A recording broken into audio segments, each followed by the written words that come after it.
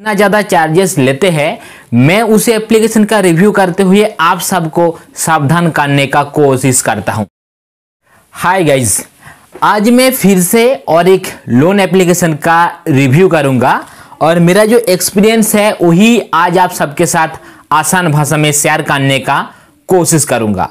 दोस्तों 2023 में loan application बहुत ही ज़्यादा है, लेकिन ज़्यादातर एप्लीकेशन ज़्यादा मात्रा में चार्जेस लेते हैं ज़्यादा मात्रा में इंटरेस्ट रेट लेते हैं। और जिस प्रकार का एप्लीकेशन इतना ज़्यादा चार्जेस लेते हैं, मैं उस एप्लीकेशन का रिव्यू करते हुए आप सबको सावधान करने का कोशिश करता हूँ। चलिए वीडियो को स्टार्ट करते हैं।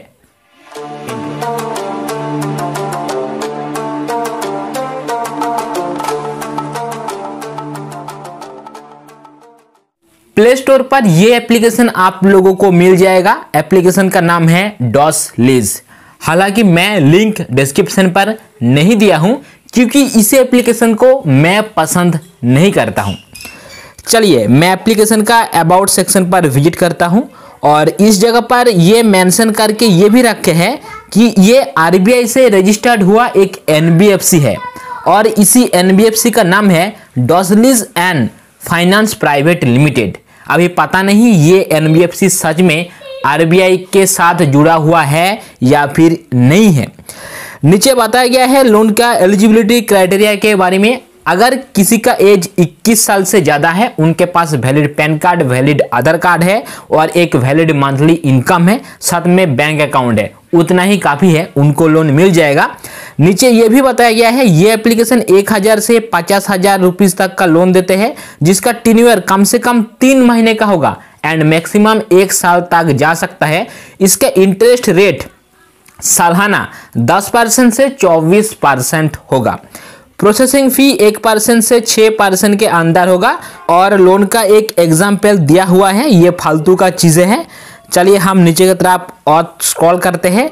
इस जगह पर कांटेक्ट करने का एक ईमेल आईडी है, साथ में एक एड्रेस है।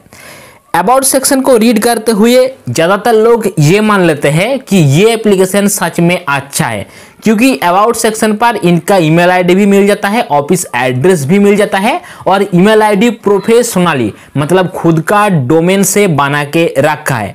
साथ में ये भी मेंशन करके रखते हैं कि ये आरबीआई से रजिस्टर्ड हुआ एक एनबीएफसी है।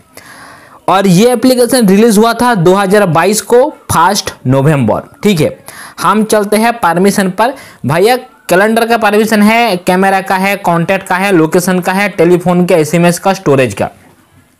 मुझे अभी तक ये पता नहीं चला लोन एप्लीकेशन स्टोरेज का परमिशन लेके क्या करते हैं। हालाँकि जो जेन्यून एप्लीकेशन है, वो एप्लीकेशन स्टोरेज का परमिशन नहीं लेते हैं, लेकिन जो एप्लीकेशन ज़्यादा चार्जेस लेते हैं, ज़्यादा इंटरेस्ट रेट लेते हैं, वही लोग स्टोरेज का परमिशन लेते हैं। चलिए मैं ऐप को ओपन करता हूँ और प्रैक्टिकली समझने का कोशिश करता हूँ।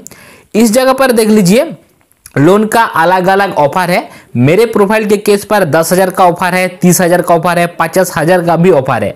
और मैं इसी पार्टिकुलर एप्लीकेशन पर मेरा प्रोफ़ाइल ऑलरेडी बना लिया हूँ। क्योंकि मैं प्रोफ़ाइल बनाऊँगा, उसके बाद ही तो मेरा एक्सपीरियंस होगा। और वही तो आप सबके साथ मैं शेयर करने का कोशिश करता हूँ। इसी एप्लीकेशन पर प्रोफ़ाइल बनाना बहुत ही सिंपल है। मोबाइल नंबर डालेंगे ओटीपी वेरिफिकेशन करेंगे, आधार कार्ड का फ़ोटो सबमिट करेंगे पैन कार्ड का फ़ोटो सबमिट करेंगे, अपना सेल्फी सबमिट करेंगे। नेक्स्ट स्टेप पर अपना बेसिक सा डिटेल्स एड्रेस वगैरह क्या करते हो मंथली इनकम इस प्रकार का कुछ चीज़ें होता है। और दो से तीन मिनट के अंदर अंदर अपना प्रोफ़ाइल बन जाता है। हालाँकि प्रोफ़ाइल बनाने के लिए मैं किसी को रिकमेंड नहीं करूँगा, क्योंकि ये एप्लीकेशन मेरे एक्सपीरियंस के आधार पर अच्छा नहीं है। चलिए, मैं लोन के लिए अप्लाई करता हूँ और इस जगह पर मैं दस हज़ार वाला अमाउंट को ही चूज़ कर लेता हूँ। देखिए प्रीव्यू आ चुका है। मेरे प्रोफ़ाइल के केस पर मुझे दस हज़ार रुपीज़ का लोन मिल रहा है सात दिन के लिए। भैया, वही सात दिन वाला चीज़ है। और नीचे कैलकुलेशन बताया गया है प्रिंसिपल अमाउंट है दस हज़ार रुपीज़ मुझे इंटरेस्ट पेमेंट करना पड़ेगा छेचल्लिस रुपीज़ सर्विस फ़ी नहीं है और मुझे टोटल रिपेमेंट करना पड़ेगा दस हज़ार छेचल्लिस रुपीज़ जो भी हो, सात दिन के लिए मुझे लोन मिल रहा है और सिर्फ़ और सिर्फ़ छेचल्लिस रुपीज़ ही ज़्यादा रिपेमेंट करने के लिए मुझे यहाँ पर बताया गया है। लेकिन भैया, इसका कहानी कुछ और है। चलिए सेंसन लेटर नाम का जो ऑप्शन है, इसके ऊपर मैंने क्लिक करता हूँ और देख लीजिए। पूरा कैलकुलेशन उल्टा सीधा हो जाता है। यहाँ पर बताया गया है, आज का डेट कितना आप लोग देख लीजिए उससे पहले, आज है 11 अप्रैल और मुझे रिपेमेंट करना पड़ेगा कि कब? 17 अप्रैल को। यानी सिर्फ़ और सिर्फ़ सात दिन के लिए ये एप्लीकेशन मुझे लोन दे रहा है, जिसका interest rate 0.06 percent per day के हिसाब से अगर इसको मंथली कैलकुलेट किया जाएगा तो लगभग दो परसेंट के आसपास इंटरेस्ट आता है। सात दिन का बात है तो ठीक है। लेकिन भैया, इसका प्रोसेसिंग फ़ी आप लोग देख लीजिए, तीन हज़ार तीन सौ सातचल्लिस रुपीज़ ऊपर से जीएसटी है, छह सौ दो रुपीज़ का। एक तो ये एप्लीकेशन मुझे सात दिन के लिए लोन दे रहा है, दस हज़ार रुपीज़ का। उसी दस हज़ार अमाउंट के ऊपर प्रोसेसिंग फ़ी और जीएसटी काट लिया जाएगा। मतलब प्रोसेसिंग फ़ी है तीन हज़ार तीन सौ सातचल्लिस रुपीज़ और जीएसटी है छह सौ दो रुपीज़ अभी आप लोग मुझे बताओ जो एप्लीकेशन मुझे दस हज़ार रुपीज़ लोन दे रहा है, सिर्फ़ और सिर्फ़ सात दिन के लिए, और प्रोसेसिंग फ़ी है लगभग चार हज़ार रुपीज़ मतलब मेरे अकाउंट पर क्रेडिट होगा छह हज़ार रुपीज़ के आसपास, और मुझे सात दिन के बाद रिपेमेंट करना पड़ेगा दस हज़ार छचालीस रुपीज़ सो इस प्रकार के एप्लीकेशन को यूज़ करना चाहिए। आप लोग मुझे कमेंट में ज़रूर बताइएगा। और मेरा मानना यही है जो एप्लीकेशन कम समय के लिए लोन देते हैं और इंटरेस्ट या फिर प्रोसेसिंग फ़ी बहुत ही ज़्यादा मात्रा में चार्ज करते हैं, वो एप्लीकेशन को यूज़ करना नहीं चाहिए। मैं इस एप्लीकेशन को फ्रॉड नहीं कह रहा हूँ नहीं फेक कह रहा हूँ, लेकिन मेरा जो एक्सपीरियंस है, वो तो शेयर करना बनता है। और मेरे एक्सपीरियंस के आधार पर जो एप्लीकेशन सात दिन के लिए चार हज़ार रुपीज़ के आसपास प्रोसेसिंग फ़ी लेते हैं, उस एप्लीकेशन को थू करना चाहिए भाई। अभी बहुत लोग मुझे ये भी क्वेश्चंस कर सकते हैं। तो भैया, आज आपने जो एप्लीकेशन का रिव्यू दिए हो, ये एप्लीकेशन तो अच्छा नहीं है। सो अच्छा एप्लीकेशन हम लोगों को मिलेगा कहाँ? वीडियो का डिस्क्रिप्शन को आप लोग चेक कर लीजिएगा। बेस्ट लोन नाम का एक सेक्शन मिलेगा।